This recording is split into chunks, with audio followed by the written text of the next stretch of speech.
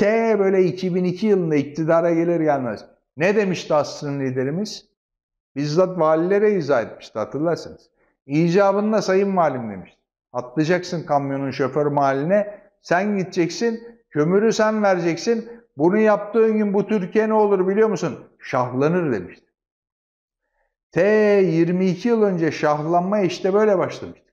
Sonra hep şahlandık. 2003, 2004, 2005 her cuma namazından çıkarken izah ediyordu.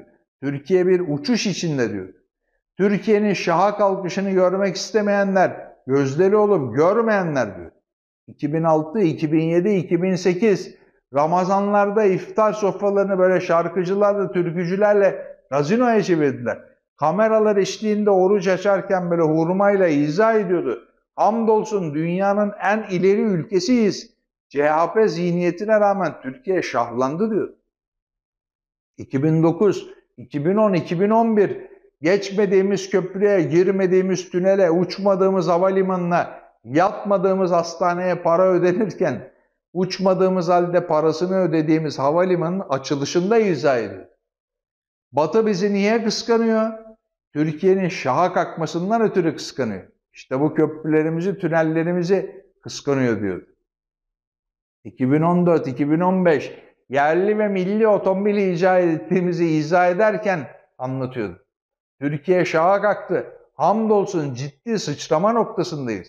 Gerek batı, gerek dışımızdaki dünya ciddi manada Türkiye'yi kıskanıyor diyordu. 2017'ye girerken mesela hiç unutmayayım. Yılbaşı mesajında izah etti. Şahlanış yılımız oldu. Bir sonraki yıl 2018'e girerken gene izah etti. Şahlanış döneminin kapılarını açıyoruz. Rejimi değiştirmek için referandum yaptı. Şahlanış müjdesi verdi.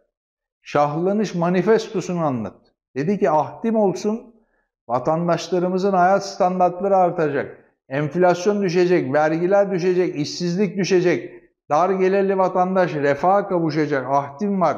Hamdolsun Türkiye şahlanacak dedi. 2019'da mesela Malazgirt Meydan Muharebesi'nin yıl dönümünde izah etti. Dedi ki dik durduk, onların küresel efendilerine eyvallah etmedik, ekonomimizi, kalkınmamızı büyüttük, Türkiye'yi şahlandırdık dedi. Ayasofya'nın açılışı vesilesiyle gene izah etti. Ülkemizin dört bir yanına mührümüzü vurduk. Türkiye'yi her alanda şaha kaldırdık dedi. 2020'ye girerken izah etti mesela. Dedi ki istiklal ve istikbal için destan yazmaya devam edeceğimiz yeni bir yıla giriyoruz. Yeni bir şahlanış döneminin kapılarını açıyoruz dedi. 2021'de ne dedi? Hamdolsun 19 yıldır heyecanımızdan hiçbir şey kaybetmedik. Türkiye'yi demokrasiden sağlığa, eğitimden adalete her alanda şaha kaldırdık. Ya hatta asrın liderimizin kendi sesiyle Türkiye şahlanıyor ismiyle klip bile hazırladılar ya. Sosyal medyaya servis ettiler. Asrın liderimiz o klipte de izah etti. Türkiye'nin şahlanışını görüyorum dedi. 2022'de ne dedi? Türkiye şaha kalkmanın sembolüdür. 2023'te Ayasofya'da kıldığı cuma namazının çıkışında ne dedi? Çok samimi bir şey söylüyorum. Türkiye şahlanıyor dedi. 22 yıldır aralıksız şahlanıyoruz. Yüzlerce defa söyledim. AKP iktidara geldiğinde bu ülkede 8 milyon icra dosyası vardı. Geçen yıl 39 milyonu. Sırf bu yılın ilk 5 ayında 7 milyon yeni icra dosyası açıldı. Şahlanan Türkiye işte bu.